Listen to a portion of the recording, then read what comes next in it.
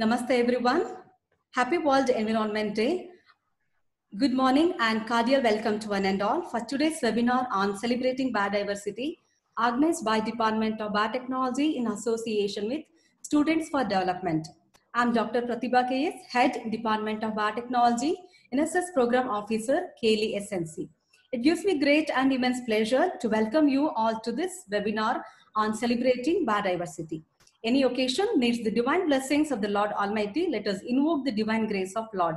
Sahana ovatu sahano bunaktu sahaviryam karavavahai tejasvinavaditamastu ma vidvi shavahai. Om Shanti Shanti Shantihi. Let us be, to, meaning of this sloka, let us be together, let us eat together, let us produce energy together, let us there be no limit our energy. Let us there be no ill feeling among us. Oh, peace, peace, peace. I'm deeply honored to see you all here. Today, this webinar has been organized on the eve of World Environment Day with the theme celebrating biodiversity. Dear students, we have amongst us an eminent enriched speaker to share her views on celebrating biodiversity. It is indeed a great pleasure and honor to welcome Today's invited guest speaker, Dr. Indu K. Murthy, Principal, Research Scientist, Center for Study Science, Study of Science, Technology and Policy, Bengaluru, to this World Environment, Environment Day celebration. Thank you, ma'am, for accepting our invitation and for gracing this occasion. Thank you. Thank you. it's my pleasure to be here. Thank you. Once again, a big thanks to you, ma'am. Dear students, we always keep coming to you with a wonderful opportunity. Now, I would like to request Ms. Sahana, Students for Development Volunteer, to introduce today's guest speaker to this gathering. Over to Sahana. Uh, good morning, everyone. Uh, I am pleasure to introduce ma'am, uh, Dr. K. Indu K. Murthy, who is currently the principal research scientist leading adaptation and risk analysis work at Center for Study of Science, Technology and Policy. She was formerly a consultant scientist at the Center of Sustainable Technologies, Indian Institute of Science for more than two decades. She specializes uh, in uh, forestry and climate change related issues like inventory, mitigation, uh, vulnerability, profiling, and adaptations. She is land use change and forestry expert involved in na- uh, National Communication of India to UNFCCC. She has developed CDM and REDD plus projects in India and has been involved in formulation of climate profiling and green growth strategies for ongoing proposed and proposed developmental projects. Uh, she is forestry and climate change consultant for United Nations, the World Bank, and other multilateral agencies. She has published many journal articles and one of the contributing article, uh, authors for IPCC fourth assessment report 2007 and Geo 6 Asia Special Environment Outlook 6 of UNEP. I welcome you, ma'am, for the session, and uh, we are blessed to have you here. And uh, I'll hand over the session to you, ma'am. Thank you. Thank you. Thank you, Sana. Um, uh, thank you very much. Yeah, one second. Thank you, Sahana, for a great introduction. Uh, and thank you, ma'am, for being with us. Uh, our environment is of the most important aspects to uh, survive on this planet. Moreover, it is the only thing that can make life uh, sustainable. Without it, we cannot survive even a single day. For instance, our skin will burn, the lungs will get ruptured, and our blood pressure uh, would raise. Furthermore, we will not have food and water uh, enough, and this will be this will also be possible because of the imbalance of heat and atmospheric pressure. Thus, it is important that we should take care of our environment. Also, abandon the, all the exploitation that we are uh, causing it. Everyone, everywhere people celebrate uh, World Environment Day on 5th June. I request everyone to celebrate Vanamahotsava weekly once if possible. People from more than uh, uh, 100 countries uh, celebrate this World Environment Day is run by the United Nations Environment Program since 1973. The main purpose of celebrating this uh, day to spread awareness, the awareness about conservation of our environment and our mother earth. The theme for World Environment Day 2020 is celebrating biodiversity. Let's celebrate today.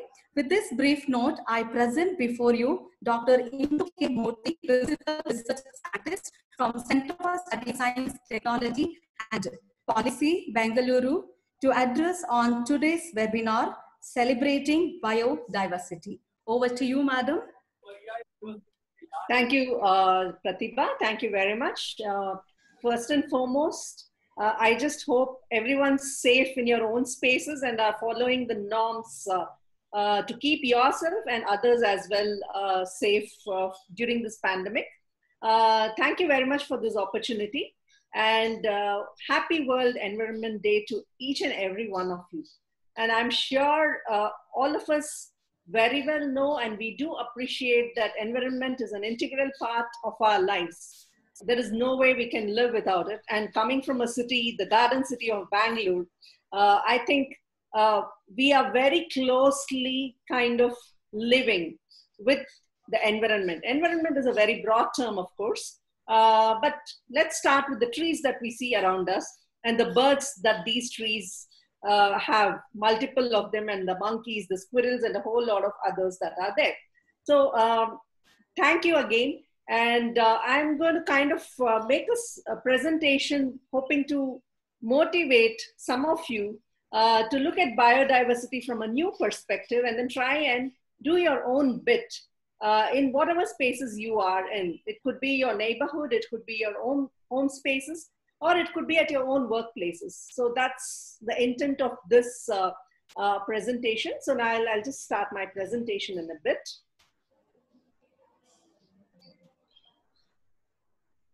Right, so the theme of my presentation is trying to look at greening. When I say greening, planting trees in the first place for biodiversity conservation, which is the theme of uh, this year and for this day as well for climate change mitigation. All of us know climate change is a reality, and uh, uh, we do talk about it, we do read about it day in and day out.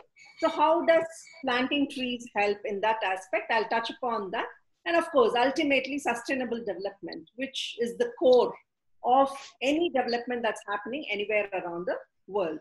So, to begin with, uh, first let's look at the cover, the forest cover in India and then Karnataka. So as you will see here, uh, you know, not everywhere do we see forests.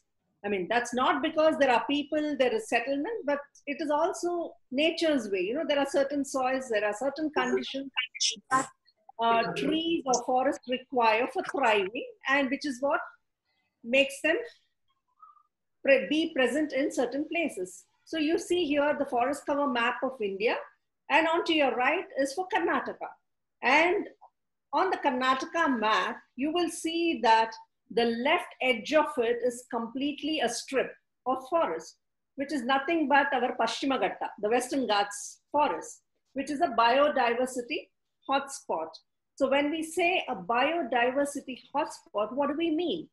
One, it is home to several thousands of species, some of them which are even endemic to the region. When I say endemic, it is present only here and nowhere else in the world. Please note, nowhere else in the world is it present. So it's the habitat is extremely special. It's a niche that the species requires for thriving.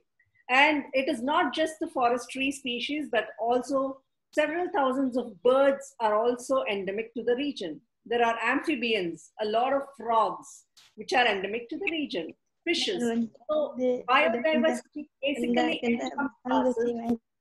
multiple things. It's not just the trees. We are talking about birds. We are talking about squirrels. We are talking about large monkeys, large mammals, and a whole lot of microorganisms as well. Things that you can't see, but which is very important, right? So that's something uh, which is what these forests can do. And over and above that, the, these forests, the Western Ghats forest, are where the rivers have their origin. As many as eight west flowing rivers in Karnataka have their origin in this place. So if you don't have the forest, you don't have water sources as well. So which is something which we will need to remember whenever we talk about uh, biodiversity or forests in particular. Now, interestingly, this map here is, you know, it's a, it's a splosh of colors out here, but then what does this say? This is looking at the wastelands that are available. See, despite so much of forest, there is still a lot of land which potentially can be brought under tree cover. So when you bring it under tree cover, when you green these patches, uh, you're not just creating a forest, but you're also creating probably home to several thousands of species. That's the biodiversity angle to greening or planting trees or creating a forest. So, which is what I wanted to convey through this map out here. So basically, if you look at Karnataka, still about 77% of the area is non-forest, which means to say there is no forest and potentially, I mean, I'm not saying everything needs to be converted into forest. We do need spaces for settlements, industries, a whole lot of other things. The idea is to strike a balance. How do you strike a balance between environment and man's development? So that's the huge challenge that uh, many of the policymakers, not just in India, but all across the world are facing. You know, they're grappling with this challenge. How do you strike a balance? Because, you know, if one becomes heavier than the other, it is at the cost of something. So the cost and benefit is something that people are grappling with. So now when you green, like I already said, when you grow trees, when you plant forests, what do you achieve? A, biodiversity conservation. When I say biodiversity, I would like to emphasize again, we are not talking just about the plant or the flora, right? The plant species, but it's also the animal kingdom, right? And when I say animal kingdom, don't just think of the tigers or the lions or the bears. There are a whole lot of small mammals. There are a whole lot of bird species. There are a whole lot of microorganisms also, which are finding their homes in these spaces. So you conserve the biodiversity because you're promoting those different species there. Uh, when I say species, it's the Bere Bere Jati Maragalu, for instance. It could be mango, it could be neem, it could be a teakwood tree, it could be a rosewood tree, right? So those kind of different, different varieties or whatever you want to call it are called species uh, when we talk about flora. The second aspect is, I already spoke about this without using the term ecosystem service. So when I say an ecosystem, uh, an ecosystem is, you know, where multiple things live together you know, a forest ecosystem. So when I say a forest, yes, it does have trees, but it is an ecosystem or a home or an environment in itself because along with the forest, you have all the other species also living. So when you create a forest, there are a whole lot of services. Like I already said, it could create habitat. So habitat is one service, or it could provide food and water services. So when I say food, people eat fruits. People extract certain species and then use it in their cooking purposes or they market it for other purposes. Or there are a whole lot of medicinal plants also that are being in use. So these are the ecosystem services. Aesthetic you know you see a good tree with a lot of flowers particularly in bangalore. It's so pleasant it's so pleasing so aesthetic purposes. Recreation. You have parks wherever there are a lot of trees. You would like to go for a walk underneath these trees rather than walking out in the sun and of course, education and awareness. People could use these spaces for taking in, you know, students for people who are studying botany, for instance, right? That is important. Or it could be for general awareness building. Health. The health aspects of it is multiple, where there are where there is greenery, where you kind of have certain trees. I'm sure uh, if you have uh, elderly people in your home, they will always say this thing. If, or if you're from a rural background or if you visited any of the villages, they'll say, you know, honge maradadili atwa, you know, Bevin maradadi, Bevin gali, honge gali is extremely good for health. They have their medicinal properties. So this is just one example I'm giving. And of course, pollution abatement, it provides shade.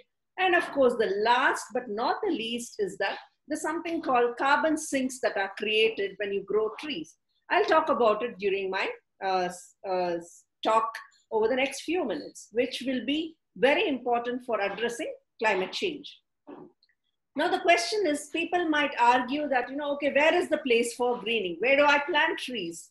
There is so much, there's so many people, there's so many demands on land, there's competition for land, for development, for industries, for uh, building, for housing, or for multiple things. So where is the space? So the question is, you know, if you if you think of trees or creating forests, if you think of only the forest land, then we become restricted. So then what do you do? So you can probably grow trees even on farmland or cropland.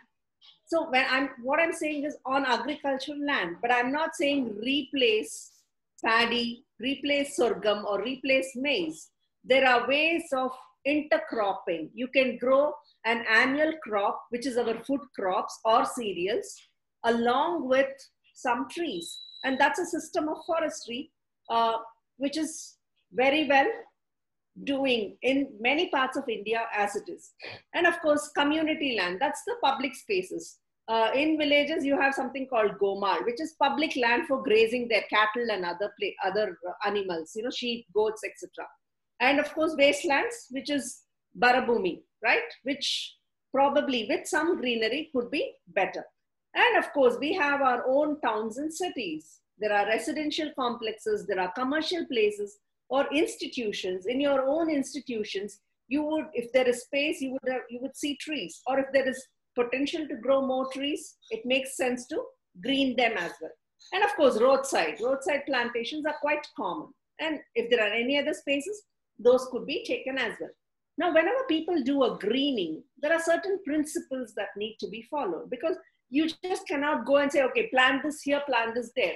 The idea is, you know, you are trying to promote conservation of tree and that is plant species and some animal species. So flora and fauna, tree, birds, butterflies, a whole lot of them. Secondly, you want to improve or enhance the services. When I say ecosystem services, it could be for prevention of soil erosion. It could be for water conservation, or it could be for providing certain food species.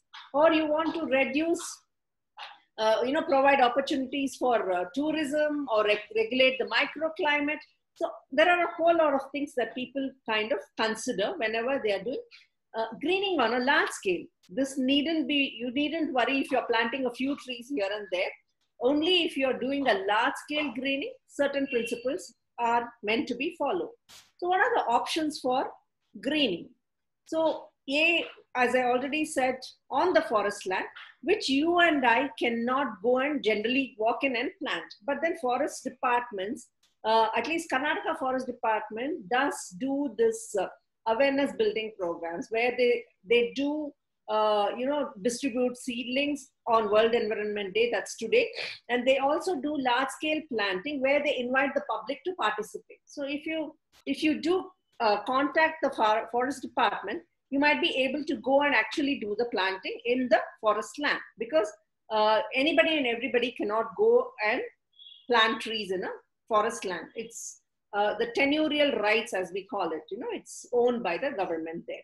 So uh, people do generally conserve, protect the area and then conserve whatever biodiversity is there.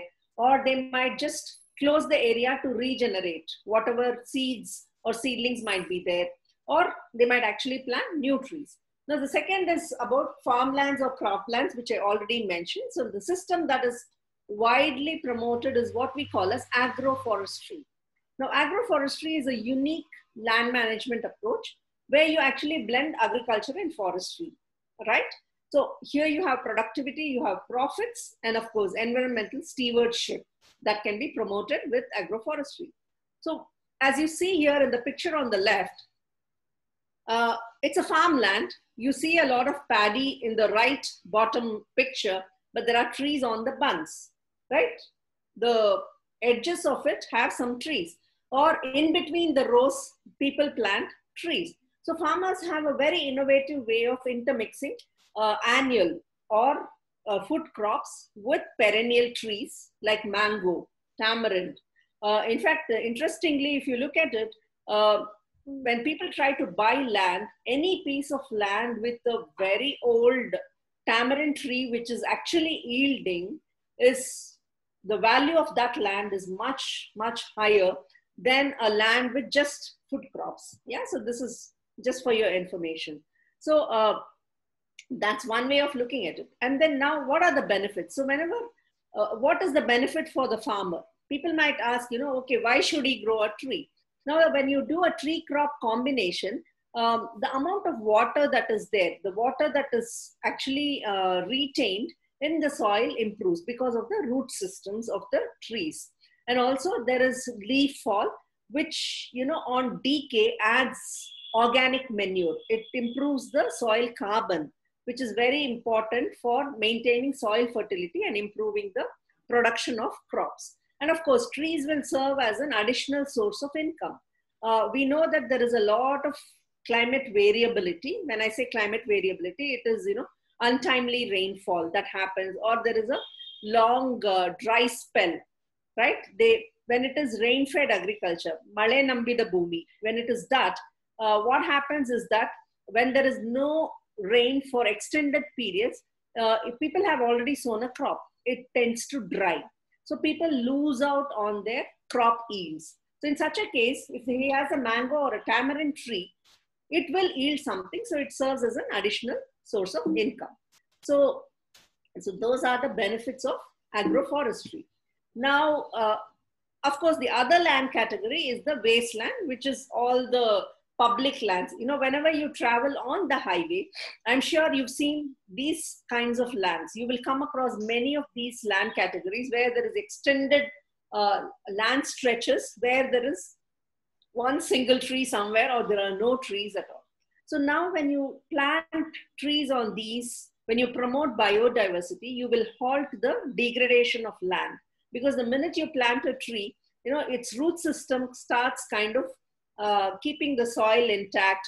And even when the soil is not exposed directly to sunlight, the oxidation process is quite, uh, you know, that is something which releases all the soil carbon into the atmosphere. So which uh, degrades the soil fertility. So that kind of gets halted. And of course, soil erosion would be limited and you can reclaim these wastelands. You can make better use of these wastelands. And of course, grass and fodder would also be available for the livestock. Now coming to the spaces that you and I live in, right? Urban spaces. So the question is people say, okay, where is the land? These pictures beautifully show that even in an urban space, you can create green spaces. You see vertical gardens. Singapore is well known for the vertical gardens. And there are certain pockets in Bangalore, certain malls which are trying to kind of uh, uh, mimic that or try and see if they can create vertical gardens. So it's on the buildings. Uh, uh sometimes, you know, even in a, think of a very desert kind of a place like Dubai, you will see if you have a satellite picture, a lot of greenery. How does that happen? That's because on the rooftops of these huge high rise buildings, they create tree structures, they create gardens on top. It is artificially maintained, but it works very well. So now, uh, these are the multiple areas that possibly could be used. And what are the different kinds of things that people can do in towns and cities. So this is just an example. I won't spend much time. Uh, the presentation will be shared. And if anybody is interested, you can actually go through it and write to me if you had any questions. Now coming to climate change. I already mentioned that uh, trees have a very important role in climate change mitigation. Now, all of you are aware of climate change. And when I say mitigation, uh, it is to it is about the strategies that people need to adopt to A, cut down the emissions. So when I say cut down the emissions, you're talking about uh, cleaner transport systems, better buildings, um, better management of waste, and so on and so forth. But then the beauty of forest or forest trees is that these are the only categories which can actually sink in carbon or suck up the carbon. Now, this is a process which all of you are aware of. This is your school science, that is photosynthesis. Now, photosynthesis is the only process which actually captures carbon dioxide and releases oxygen. So that's why uh, the role of trees in climate change mitigation is very, very large. So that's why we talk about this. Now, when we let's look at the linkage here now, right? The, it's a two-way process. Now, biodiversity and climate change runs both ways. Uh, when there is a change in the climate, the biodiversity is actually threatened. There have been cases where certain trees have gone extinct because of climate change, right? So because of, you know, because the temperatures were very high for the species to grow, or maybe they didn't have enough soil moisture. So these are the different reasons why species have gone extinct. The same goes for certain animal species and bird species as well. The dodo. People have read about the dodo. So that's another classical case of biodiversity loss because of changes in the environment. Now, what is the other thing? You know, the Millennium Ecosystem Assessment or the the SDGs that you uh, you might be looking at, the Sustainable Development Goals, all of these speak about climate change actually being one of the main drivers that affects ecosystems. So, because of the consequence of a climate change, uh, the biodiversity gets impacted, the way it is distributed, right? Uh, or you know, increased extinction rate, or change in the reproduction timing. And if there is any avid bird watcher in the group here, you will agree that you know if you are looking at migrant species the arrival of these migrant birds changes has changed over time. That's primarily because of climate change and also length of growing season. Or if you have a tree flowering tree there are people who watch it very clearly and they say okay uh, okay this tree used to flower at uh, you know during february but this year it started right in jan or in december itself so these kind of changes are already being seen and it is an impact of climate change. Now, whenever I grow a forest, I'm saying, I'm talking about carbon sink or talking about sequestration of carbon. Now, how does this happen? It happens in into the, we call it the carbon pool of the trees. One is your stem or above the ground system, which is your crown and the main trunk of the tree. The second is the root system, which is below the ground, which also sinks in carbon. And of course, you have the leaves, you have the reproductive parts. It could be the fruit, it could be the seed. And of course, the fifth and largest carbon pool is the soil. Because the minute you grow a tree, the soil underneath it is intact and it is not exposed to sunlight, which I already explained. The process of oxidation is kind of slowed down. So that's why when you create a, a forest ecosystem, or when you promote biodiversity through forest, then you actually create a carbon sink as well. So for addressing climate mitigation, there are multiple ways of doing it. Uh, afforestation or creating a plantation. Planting trees is one of the options. And there are multiple benefits of growing trees. One is ecological, as we already discussed. You know, you promote biodiversity, you create ecosystem services, you create habitats, a whole lot of them. There are social benefits also, which is, you know, the air we breathe is cleaner. There are healthier environments created. And people also gay, uh, you know, uh, gather certain forest produce and sell it and get income. So, which is the economic component. And of course, there is a need for multiple stakeholders, like people like you and me to play a role because there's so much of land that's there where planting needs to be done. And of course, there is a national goal, uh, uh, the nationally determined contribution, which is NDC.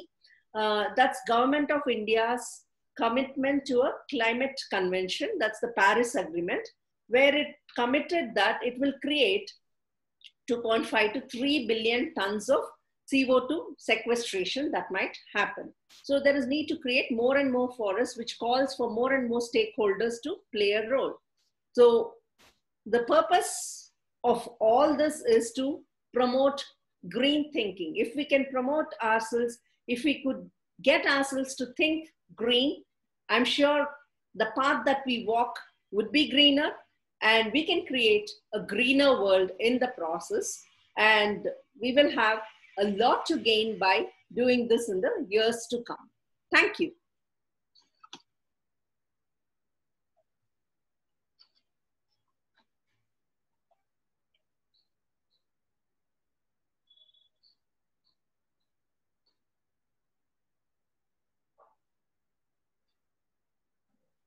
I can't hear.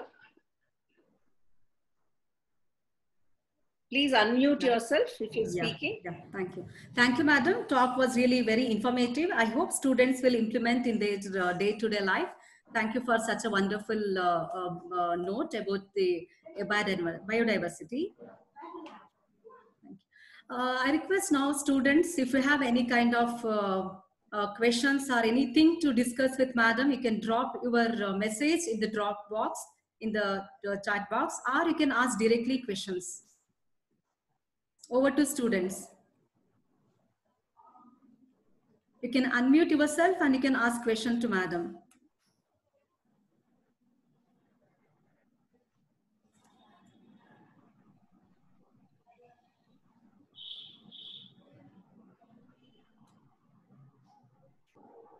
Okay, some of the students, they have left a message to my WhatsApp, ma'am. So I'll share that one with you later. You can uh, Sure. uh, give answers. Okay. Definitely. Thank you, ma'am. I express my sincere thanks and gratitude to you, ma'am, on behalf of KLE Management and also on my personal behalf for accepting our invitation and also for gracing this occasion. My pleasure. So think green, live green, and all of us will be will have a happier future. Thank you very much. Yeah. Good day. On behalf of KLE Society's S. Nijalingappa College, I thank Dr. uh, Indu K. Murthy ma'am for accepting our invitation again and for sharing her rich views on celebrating biodiversity. Thank you once again, ma'am. I also extend my thanks to Ms. Sahana from Students for Development Organization for her support in conducting this webinar. Thank you, Sahana. Thank you so much, ma'am. It was really nice to uh, organize with you people, and it was a great experience. Uh, we from Students for Development, it is an organization of students which work on biodiversity types like five J's: Jan, Jungle, Jameen, Janwar, and Jal. So all these are most important for any human sustainability. So we uh, generally work on the sustainable development. So we do many activities as for that uh, many seminars, many uh, internship programs for that. I hope we will uh, have to continue all these things in hand with uh, ma'am also, Indu ma'am also, and uh, with your students ma'am also. Thank you, thank you for this opportunity. Thank you. Thank you. Thank you. Definitely we'll be in touch with Indu madam. She, she is very friendly and student uh, frequency she'll match also. Uh, in another 15 days, we'll, I'll invite madam once again for one more uh, session with her permission. Sure, Prathibha. That will be my pleasure. Thank you. Uh, Thank you, ma'am. Finally, I extend my sincere thanks and gratitude to all the participants for being with us on behalf of KLE Management, Principal, Heads of various department, faculty. Wish you all a very happy World Environment Day on behalf of KLE Management. Stay safe, protect yourself, protect others, maintain social distance. We we look forward for your cooperation in our upcoming events. Thank you for listening. Thank you, everyone. Thank you. Thank you.